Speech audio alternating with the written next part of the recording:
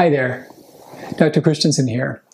A question we get all the time is, what should I look for in a protein shake? And it, it's an important thing. You know, protein shakes are so handy. Uh, getting a good dose of protein in the morning makes a huge difference for your day's energy, less cravings, burning fat better. But there's a million on the market and so many variables to think about. I want to give you guys some strategies so you can feel confident going anywhere and picking out something that's going to work out really good for you. First thing is, what is the source of the protein? You know, first thing to consider. There's many options out there. There are some uh, proteins that come from dairy, uh, casein and whey are the big ones. There are some animal-based protein. Collagen is the most common one there. And there's many plant-based proteins. So we've got soy, rice, hemp, pea, a few more odds and ends, uh, cranberry you see occasionally. Dairy, for starters, I would avoid, and here's why. Uh, many have obvious dairy intolerances, you know, no secret there.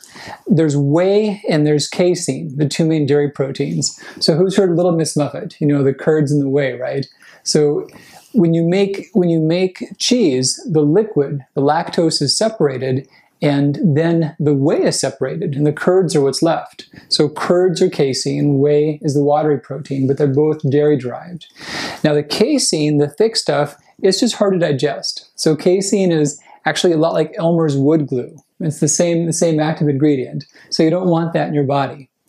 Whey is more digestible, but there's more data saying that some are also intolerant to it. And a concern too is even if you are not, this is something that we want to make a really good habit. This is something you want to really do on a regular basis. And a daily frequent food dense in protein really runs the risk of becoming reactive even if it's not reactive.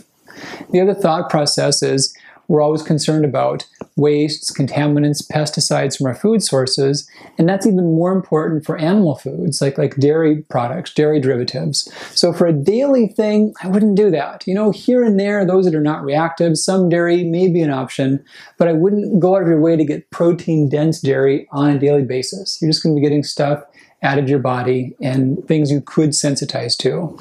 Uh, the other cow-based one we'll see is collagen protein, hydrolyzed collagen.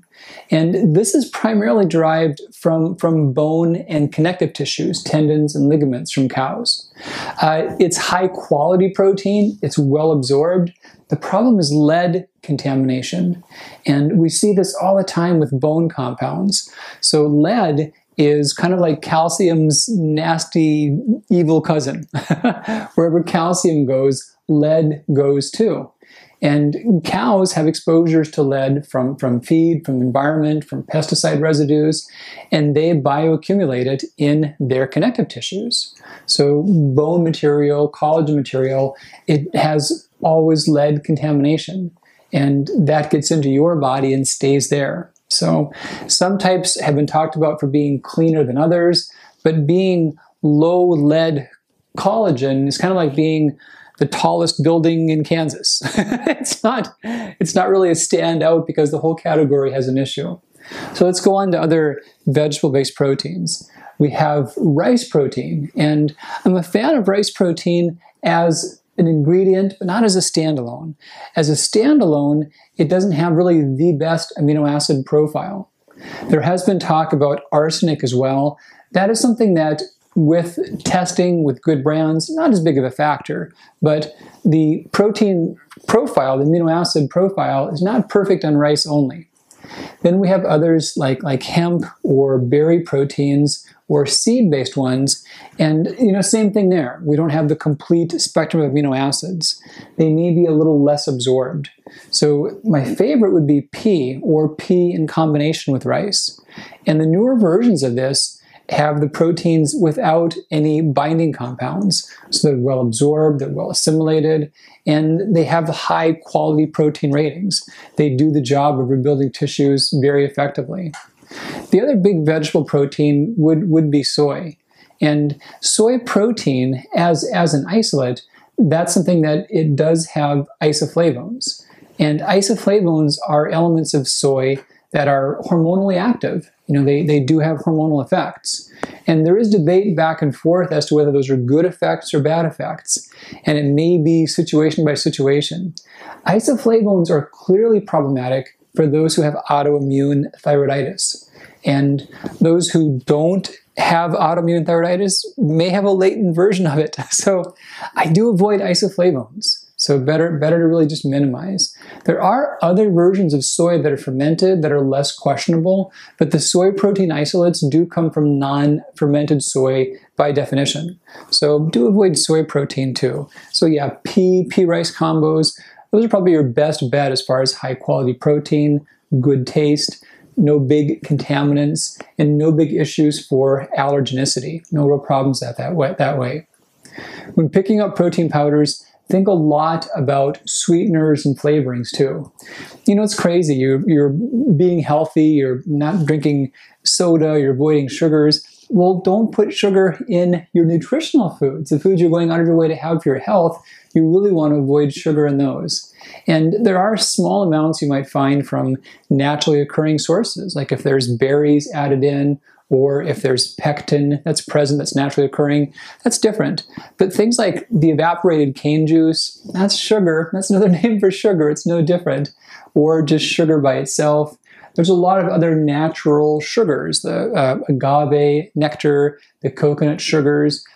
I would avoid those still. Those are still glycemically active. So, so pectin, fruits, naturally occurring sugars, those are molecularly distinct. They've not been refined, they've not been chemically isolated, and they're metabolized very differently by your body. I would make a distinction between that and uh, fruit sweeteners or fruit juice concentrate, which is a tricky way of saying fructose, just pure fructose. a couple natural sweeteners that are fine. Stevia is not a problem. Uh, Lohan, which is similar. They're both herbs that have a sweet taste, but really no calories and no big effect on blood sugar. And I've seen a few products with smaller amounts of xylitol. That's probably a fine thing too. In high doses, it can act as a laxative, so do bear that one in mind. But small amounts of it, not, not a big problem. So think about the proteins, think about the sweeteners, think about the sugars.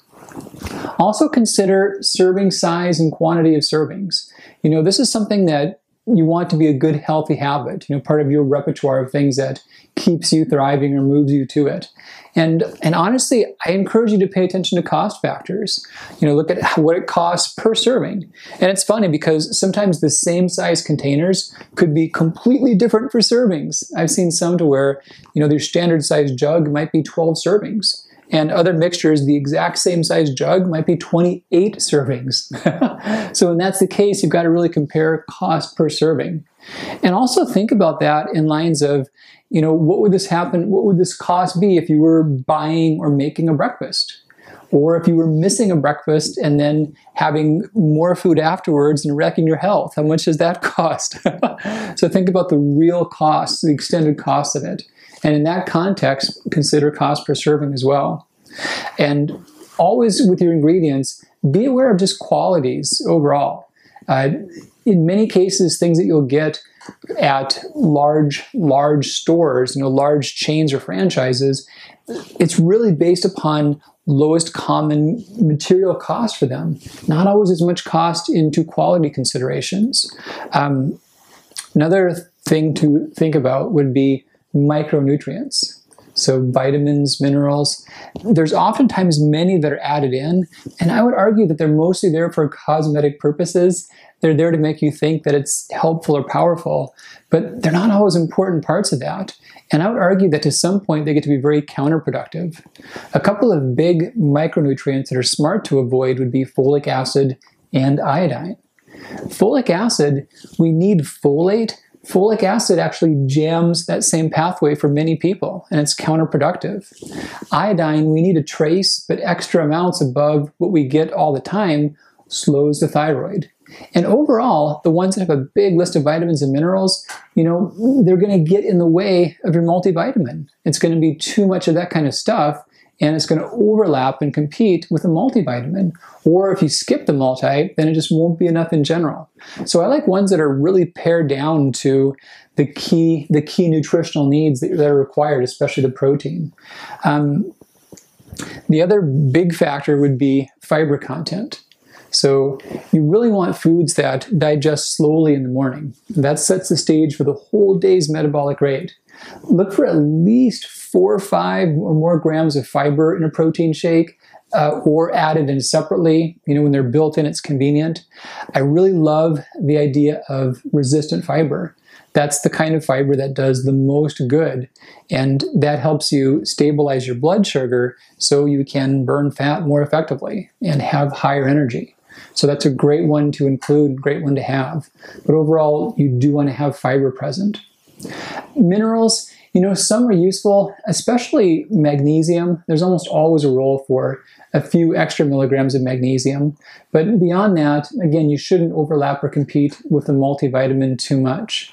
And then there's a lot of kind of functional foods or herbs or um, fruit vegetable combos you'll see in most cases, the amounts of those are so small that they're not biologically active and they may affect the cost of the product. They won't really affect your benefits. So I kind of like to avoid those things as well. Last thing I'll mention would be probiotics. They certainly help our health. It's good to have the right flora, but they're not very stable in powders. So I wouldn't really put a lot more value in powders that have probiotics. And if anything, they tend not to be as biologically active when they're in that format and they're exposed to so much air. So also a good thing to look at and work around. So overall, you really want those that have high quality protein, pea, pea rice combos. Those are probably the best for not being allergenistic, very, very biologically active, and not being contaminated. You want ones that taste good, that have some real simple flavorings. You know, vanilla, chocolate, most don't stray too far from that because those are universal tastes. The things you have day in and day out, it's pretty easy to get sick of if the taste is too distinct or too powerful. So the better shakes, you can just take, add some cold water in a little mixer, mixing jar and call it good. It shouldn't take much more than that. In the days you're really busy and on the go, that can be your breakfast. You know, mixed up, done, ready, all set. There are times where you may want to just like really make the flavors your own or work in some more foods. And the better ones have a bit of a neutral enough taste to where that's totally fine. If you do that, but one of the first things I would prioritize would be some greens. Believe it or not, some frozen spinach, some frozen kale, you'll never even know it's in there. it might slightly affect the color, but no effect upon flavor. So that's one easy add-in. A few frozen berries can work really well too. You know, some type of a non-dairy milk if you like more of a base. My personal favorite that way would be the unsweetened flax milk. It's very low in calories, like 25 calories per cup, but also you're getting some essential fats out of that. And the last thing you might think to include would be just a few seeds, also for more fiber and more texture. Of course, chia works great. Flax can be real nice. Hemp can be good in those. And think about those as more essential fats, fiber, not a big shift on the protein content, but helping to fortify in other ways. So overall, those are things to look for. You know, shakes are a great habit, and I'd really encourage you to find blends that meet those criteria, that pass your taste test that you love, and you can make part of your daily habit to move you back to great health. Thanks so much. We'll talk again real soon.